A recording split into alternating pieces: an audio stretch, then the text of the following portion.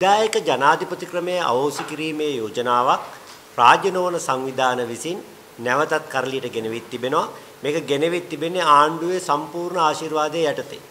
මීට කලින් මේ යෝජනාව ඉදිරිපත් වුණාම විපක්ෂ නායකතුමා කිව්වේ විධායක ජනාධිපති ධූරයේ අවෝසි වීමත් එක්කම පාර්ලිමේන්තුවත් විසිරුවා හැරෙන විධිවිධානයක් තියෙනවා නම් මේ යෝජනාවට සහාය දෙන්න සූදානම් කියලා. ඒ නිසා වර්තමාන යෝජනාවේ අන්තර්කාලීන විධිවිධානයක් විදියට ඔන්න ජනාධිපති ධූරයේ අවෝසි වූ සැනින් පාර්ලිමේන්තුව විසිරුවා හැරෙන්නේ කියලා යොදන්න ආණ්ඩුව ප්‍රවේශම් වෙලා තියෙනවා. දැනටමත් ශ්‍රී ලංකා නිදහස් පක්ෂය වගේ සමහර විපක්ෂයේ පක්ෂ මේ යෝජනාවට කැමැත්ත පළ කරලා තිබෙනවා. ඒ වගේම විධායක ජනාධිපති ක්‍රමය අවෝසි කිරීම තමන්ගේ ප්‍රතිපත්තිය කරගත්ත සජබ ජවිපේ දෙබල ජාතික සන්ධානය වැනි පක්ෂ මේට සහයෝගී දේවි කියලා ආණ්ඩුව බලාපොරොත්තු වෙනවා. නමුත් අපි ඊටා පැහැදිලිව අවධාරණය කරනවා මේක පැහැදිලිවම සීනි තැවුරු විෂගුලියක්. විධායක ජනාධිපති ධූරයේ අවෝසි කිරීම කියන විපක්ෂයට ආකර්ශනීය සටන් පාඨ ඉදිරියට ගෙනවිත් පුංචි ඡන්දයට සහ පළාත් සභා ඡන්දයට කරපු දෙයම ජනාධිපතිවරණයටත් කරලා මේ ඡන්දයකින් ආණ්ඩු වෙනසක් කිරීමට බලා පුන පුනා බලා සිටින ජනතාවට නැවත වරක් රැවට්ටීම තමයි ආණ්ඩුවේ අරමුණ වෙලා තිබෙන්නේ. විධායක ජනාධිපති ධූරයේ අවෝසි කිරීමට ගෙන එන යෝජනාවක් පාර්ලිමේන්තුවේ තුනෙන් දෙකේ බහුතරයෙන් සම්මත වීමට අමතරව ජනමත විචාරණයකදී ජනතාව විසින් අනුමත කළ යුතුයි කියලා දැන්ටම ශ්‍රේෂ්ඨාධිකරණයේ තීරණය කළා තිබෙනවා.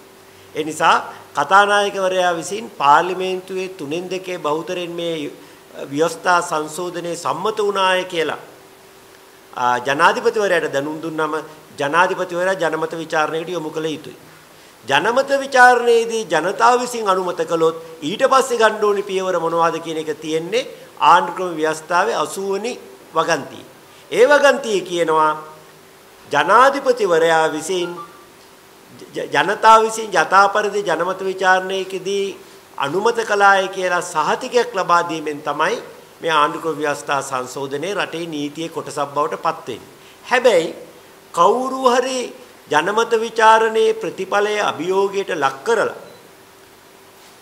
ශ්‍රේෂ්ඨාධිකරණයට පෙත්සමක් ගොනු කළොත් ඒ පෙත්සමේ තීන්දුව දෙන තුරු ජනාධිපතිවරයාට මේ අස්සන තියන්න බෑයි කියන එක ඊටාම පැහැදිලිව 80 වන වගන්තියේ සඳහන් වෙනවා. එහෙමනම්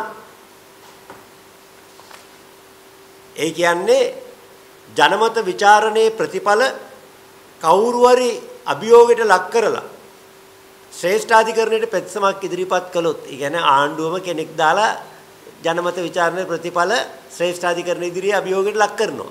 එහෙම කළොත් ඒ නඩුව අහලා අවුරුදු කීයකින් හරි ප්‍රතිඵලය ලබා දෙනතුරු ජන විධායක ජනාධිපති ධූරයේ අවෝසි වෙන්නෙත් නැහැ.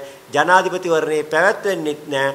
2025 අගෝස්තු මාසයේ වර්තමාන පාර්ලිමේන්තුව විසිර ගොස් පාර්ලිමේන්තු මැතිවරණයේ එනතුරුම මේ ජනපීඩක ආණ්ඩුව gedara යවන්න දුක් විඳින ජනතාවට අවස්ථාව අහිමි වෙනවා. දැන් පනතේ නම් කියලා තියෙනවා ජනමත ਵਿਚාරණ පනතේ කියලා තියෙනවා ශ්‍රේෂ්ඨාධිකරණයට පෙත්සමක් ඉදිරිපත් වුනොත් මාස 6ක් ඇතුළත ඒ නඩුව අහලා ඉවර කරන්න ශ්‍රේෂ්ඨාධිකරණයේ හැකි උපරිමයෙන් උත්සාහ කළ යුතුයි කියලා. හැකි උපරිමයෙන් උත්සාහ කළ යුතුයි කියලා කිව්වා මිස අනිවාර්යෙන් මාස 6කින් නඩුව අසා නිම කළ යුතුයි කියලා නෑ. ඇත්තම මූලික අයිතිවාසිකම් නඩු සම්බන්ධයෙන් තියෙනවා මාස 3ක් ඇතුළත නඩුව අවසන් කළ යුතුයි කියලා. හැබැයි නඩු තියෙනවා වසර 3 නෙවෙයි 7 8 දක්වා ඇදිලා ගියේ. ඒ නිසා මාස 6න් නඩුව අවසන් වෙයි කියලා අපිට බලාපොරොත්තු වෙන්න බෑ. හැබැයි ඉතින් කාට හරි තර්ක කරන්න පුළුවන් මේ ජන විධායක ජනාධිපති ක්‍රමය අහෝසි කිරීමේ ව්‍යවස්ථා සංශෝධනය සම්මත වෙන තුරු පවතින විධායක ජනාධිපති ක්‍රමය පවතිනවානේ ඒ නිසා මැතිවරණ කොමිසමට ජනාධිපතිවරණේ තියන්න බාධාවක් නැහැ නේ කියලා. ඒක තාක්ෂණිකව බලද්දී තර්කයක් විදිහට හරි.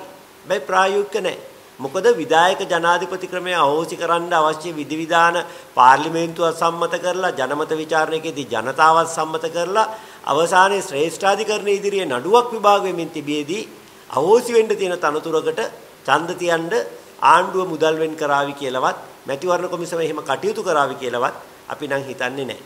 ඒ නිසා අපි විපක්ෂයට ඊටාම ආදරයෙන් මතක් කරනවා ඕනෑකමින් ඉල්ලා සිටිනවා මේ විධායක ජනාධිපති ක්‍රමය අහෝසි කිරීම කියන්නේ මැතිවරණ කල්දමීමේ උගුලක් ඔය උගුලට අහු වෙන්න එපා කියලා. මෙවර මැතිවරණයේදී ඉන්දියාව දේශපාලන අධ්‍යාත්මයක් කරන්න ඉඩ තියෙනවා කියලා දැන්පත් පැහැදිලි වෙමින් තියෙනව නේද? ලංකාව මැතිවරණ සම්බන්ධයෙන් ඇමරිකා එක්සත් ජනපදයේ ඉන්දියාව මැදිහත් වුණායි කියන චෝදනාව ඉතිහාසයේ පුරාම තියෙනවා. අපි දන්නවා ජාත්‍යන්තර බල ශ්‍රී ලංකාවේ පිහිටීම මත විශේෂයෙන්ම මේ සියවස ඉන්දියා මේ සියවස ඉන්දියානු සාගරයේ සියවස ලෙසයි හඳුන්වන්නේ. ඉන්දියානු සාගරයේ හරිමැද පිහිටි ලංකාව මේ සියවසේ වැදගත්ම රට බවට පත් වෙලා තියෙනවා. රොබර්ට් කප්ලාන් වැනි ඇමරිකානු යුද විශේෂඥයන් මේ පිළිබඳ පොත් ලියලා මොන්සුන් වැනි පොත්වල මේව සඳහන් කරලා තියෙනවා. නිසා ලංකාවේ මැතිවරණය පිළිබඳ කලාපීය වගේම ලෝක බලවතුන්ගේ අවධානය යොමු වෙලා තියෙනවා.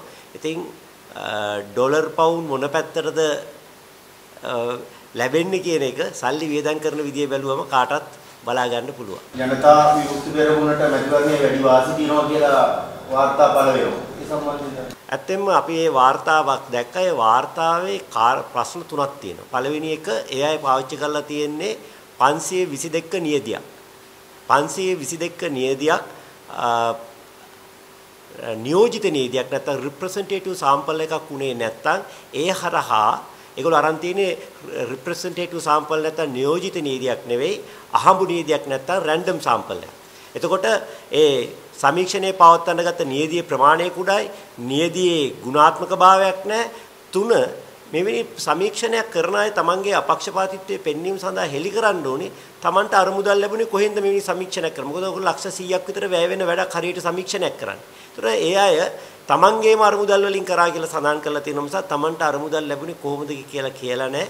ඒ සමීක්ෂණය ප්‍රතිඵල විශ්වාසනීය මට්ටමක නෑ ජනතා විමුක්ති පෙරමුණ හිටියේ තැනින් ඉතා ප්‍රබල තැනකට ඇවිල්ලා කියන එක අපි හැමෝම පිළිගන්න ඕනේ. ඒක පිළිගන්නේ නැත්තේ කෝකකමකට විතරයි. හැබැයි ඒ අය කතරම් ඉදිරියෙන් ඉන්නවද කියලා බලන්න නම් විද්‍යාත්මක සමීක්ෂණයක් කරන්න ඕනි. එහෙම නැත්නම් ප්‍රාථමික බොළඳ මට්ටමේ සමීක්ෂණ අරා එවැනි කාර්යයක් තහවුරු කරන්න බෑ. ඉතින් කවුරුවත් දන්නේ නැත්නම් විද්‍යාත්මක සමීක්ෂණයක් කරන්නේ කොහොමද කියලා විශ්වවිද්‍යාලයක සමාජ විද්‍යා පීඨයකට ඒ වැඩේ බාර දුන්නොත් ඒ අය විද්‍යාත්මකව කරලා දෙයි. දැන් ජනාධිපතිවරණය අනිවාර්යයෙන්ම පැවැත්විය යුතුයි කියලා ඔබතුමාලා විශ්වාස කරනවද? පෙට්ටුගාමී සඳහන් කරා දැන් පුංචි තන්ත්‍රයට වගේම පළාත් සභා මැතිවර මේ සභා මැතිවරණ පැවැත්වුවේ නැහැනේ. නැත්තම් අපි බලා ගන්නම් කිව්වට දැන් මේකත් පැවැත්වුවේ නැත්තම් ඉදිරියේ ඔබතුමාලා මම ඉතින් දැන් මෙච්චරලා පැහැදිලි කරේ ජනාධිපතිවරයාට නොපැවැත්වීමේ කුමන්ත්‍රණයක් තියෙනවා ඒක කරන්න යන්නේ කොහොමද කියන එක තමයි අද දවසේ මම පැහැදිලි කරේ. මගේ මාධ්‍ය හමු එකම අරමුණ උනේ ජනාධිපතිවරණේ නොපවත් මම වහගෙන හිටනම් මම මේ ඔබ කියන වාක්‍යය විදිහටම කිව්වා. පුංචි ඡන්දේ පළාත් සභා මැතිවරණයට කරපු දේමයි ජනාධිපතිවරණයට කරන්න යන්නේ කියලා. ඒතර මේ අද මාධ්‍ය හමු කතා කරේ ඔය මතු කරන ප්‍රශ්නෙට උත්තරේ තමයි මම කිව්වේ. මොකද මේ මේ වැඩේ කරන්න නම් පාර්ලිමේන්තුවේ තුනෙන් දෙකකින් පාර්ලිමේන්තුවේ තුනෙන් දෙකකින් ගෙන එන ව්‍යවස්ථා සංශෝධනය අනුමත කළ යුතුයි කියලා දැන්ටම ශ්‍රේෂ්ඨාධිකරණය තීරණය කරලායි තිබෙන්නේ. ඒ නිසා විපක්ෂයේ සහායක් ලබා ගැනීමකින් තොරව මේක අනුමත කරගන්න බෑ. මේ විපක්ෂය මේ අපි විධායක ජනාධිපති ක්‍රමයට විරුද්ධයි ඒ නිසා අපි මේකට සහාය දෙනවා වගේ අදූරදර්ශී ස්ථාවරයකට යන්නේ නැතුව මේකේ ඇතුලේ තියෙන මේ උගුල තේරුම් අරගෙන මේ සීනි තැවරු විසගුලියක් කියන එක තේරුම් අරගෙන මේකට විරුද්ධ වුණොත් මේ ජනතාවට ඡන්දයක් ලැබීමේ අවස්ථාව ඇති කරගන්න පුළුවන්. නැත්තම් විපක්ෂයේ නොදුනුවත්කමින් විපක්ෂයේම සහයෝගය අරගෙන ජනතාවට මේ ජනතා ජනතා පීඩක ආණ්ඩුව එලවා ගැනීමේ අවස්ථාව තවත් අවුරුද්දකින් කල් යෑමේ අවදානමක් තිබෙනවා.